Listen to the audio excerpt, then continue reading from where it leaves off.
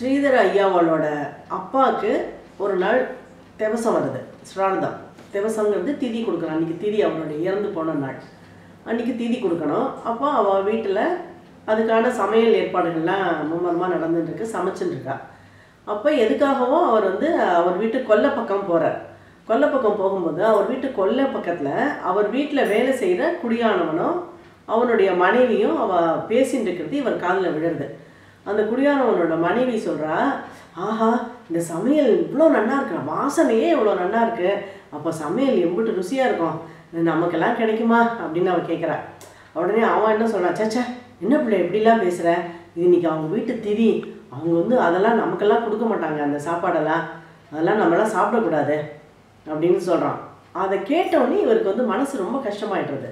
அடாடா ஒரு யாரோ ஒரு நம்ம சாப்பாட்டை சாப்பிடணும்னு யாரோ ஆசைப்பட்டுட்டா. அப்புறம் நம்ம மற்ற அந்த சமையல் வாசனையை கேட்டு அந்த பா அதை அந்த வாசனையை ஸ்மெல் பண்ணிட்டோம் அவளுக்கு அந்த சாப்பாடு மேலே ஆசை வந்துடுத்தோ ஸோ அது எப்படி நம்ம அவளுக்கு கொடுக்காம இருக்கலாம்? அவளுக்கு கொடுக்காம நம்ம இருக்கக்கூடாது. அவள் சாப்பிடணும்னு ஆசைப்பட்டா.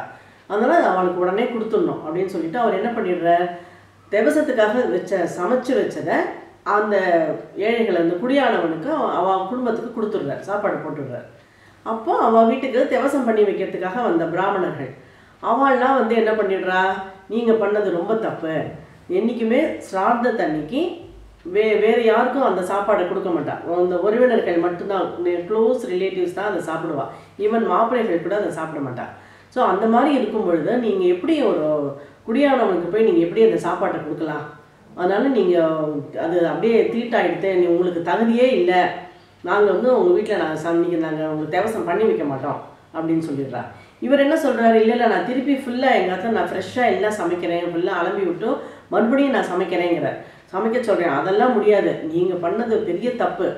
நீங்கள் இந்த தோஷம் உங்களுக்கு போகணும்னா நீ கங்கையில் போய் நீங்கள் ஸ்நானம் பண்ணிட்டு வந்தாதான் அந்த தோஷம் போகும் அப்படின்னு அவ சொல்லிடுறா இந்த பிராமணாலாம் இவருக்கு ரொம்ப மனசு வேதனை ஆயிடுறது ஐயோ அப்பாவுக்கு தேவசம் அது பண்ணி வைக்க மாட்டேன்னு சொல்லிடுறாளே.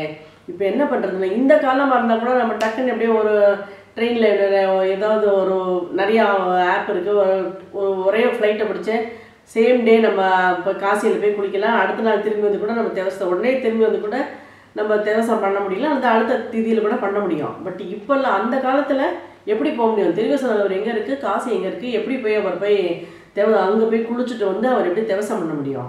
அவர் ரொம்ப மனசு கங்கையில் எப்படி குளிக்க முடியும்? அவனால் ரொம்ப மனசு வேதனை ரொம்ப இதுவாக ரொம்ப தாபத்தோட கங்கையை வந்து பிரார்த்தனை பண்ணிக்கிறார். கங்கையை பிரார்த்தனை பண்ணி ஒரு ஸ்லோகம் எழுதுகிறார் அந்த ஸ்லோகம் எழுதி முடித்த உடனேயும் அவாத்துல அவாத்துல இருந்த கிணத்துல அப்படியே கங்கை அப்படியே குபு குபு குபு குபுன்னு அப்படியே பொங்கி வந்து கங் தண்ணி ஃபுல்லாக வழிஞ்சு அக்ரஹாரத்து வீதியெல்லாம் ஓட ஆரம்பிச்சுடுறதா கங்கை. எல்லாருக்கும் ஒரே ஷாக் ஆகிடுறது அடாடா எப்படி இவ்வளோ தண்ணி வந்ததுன்னா அவாத்து இது அவாத்து கிணத்துலேருந்து தண்ணி வந்திருக்கு. அந்த தண்ணி ரொம்ப அப்படியே பிரவாகமாக கங்கை வந்துடுறா. அவர்லாம் உடனே அப்போ தான் அந்த பிராமணர்களுக்கு புரியறது நம்ம பண்ணது பெரிய பெரிய அபச்சாரம். நம்ம தான் தப்பு பண்ணியிருக்கோம் அவர் தப்பு பண்ணலை அப்படின்னு அவர்லாம் வந்து அவர்கிட்ட மன்னிப்பு கேட்டுன்னு மறுபடியும் அவள் அப்பா அம்மாவுக்கு தேவசம் பண்ணி வச்சார் அந்த விஷ்ணு இலையில சாட்சாத் மகாவிஷ்ணுவே வந்து சாப்பிட்டார் அப்படின்னு சொல்றா. ஸோ இப்போவும் ஒவ்வொரு கார்த்திகை மாதமும் அமாவாசை அன்னைக்கு அந்த திருவசநல்லூரில் அவர் வாழ்ந்த வீடு இருக்குது அந்த வீட்டு கிணத்த வந்து அன்னைக்கு அன்னைக்கு கங்கை வரதா ஐதீகம். ஆயிரக்கணக்கான மக்கள் போய் அந்த கங்கையில் அந்த தண்ணியில் இன்னைக்கு ஸ்நானம் பண்ணுறாங்க நம்மளும் அதை முடிஞ்சால் எப்போ முடியுறதோ அப்போ போய் அந்த ஸ்நானம் பண்ணி கங்கையில் பண்ணின அன்னைக்கு திருவசநல்லூர் ஸ்ரீதர் ஐயாவாள் வீட்டில் இருக்கிற க கிணத்து தண்ணியில் நம்ம குளித்தா கங்கையிலேயே ஸ்நானம் பண்ணின மாதிரி நமக்கு கிடைச்ச பலன் கிடைக்கும். இதில் வந்து ஒரே ஒரு விஷயம் வந்து நான் சொல்ல விரும்புகிறேன் அதான் சில பேருக்கு ஒரு சந்தேகம் வரும். ஆ அது என்ன அப்படி? ஸ்ரீதர் ஐயா வந்து என்ன தப்பு பண்ணார்? அப்புறம் வந்து அவர் தீண்டாமையாவை ஒத்துக்கிறாரா? அவர் வீட்டுக்கு குடியானவனுக்கு கொடுத்தது வந்து தப்பா? அவர் ஏன் அவர் திருப்பி அவர் கங்கையில மேலே எதுக்கு அவர் ஸ்லோகம் பாடணும்? அப்படின்லாம் கேட்பா. இந்த இடத்துல ஒன்று அவர் ஸ்ரீதர் ஐயா வந்து ஒரு ந ஒரு நல்ல மனுஷனாக அந்த குடியானவனுக்கு சாப்பாடு பட்டார். அதே சமயத்தில் அவர் வந்து ஒரு பழுத்த சனாதனி. சனாதன தர்மத்தை தான் அவர் அப்போ இருந்த சனாதன தர்மத்தை தான் அவர் ஃபாலோ பண்ணார். நம்ம இந்த மாதிரி கதைகள் எல்லாம் நம்ம படிக்கும் பொழுது இந்த காலத்தை நம்ம நினச்சிடக்கூடாது அந்த காலத்தை நம்ம நினைக்கிறோம் அந்த காலத்தில் எப்படி இருந்தா அந்த காலத்து பழக்க வழக்கம் எப்படி இருந்தது அதை நினச்சி தான் வச்சு தான் நம்ம அதை புரிஞ்சுக்கணும். அவர் வந்து ஒரு புரட்சியாளர் கிடையாது. அவர் வந்து குடியானவனுக்கு சாப்பாடு போட்டது கருணையினால.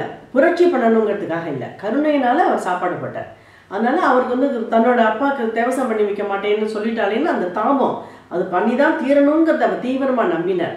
அதனால தான் அவர் கங்கை மேலே பாட்டு பாடி அந்த கங்கையில் அவர் குளிச்சார்.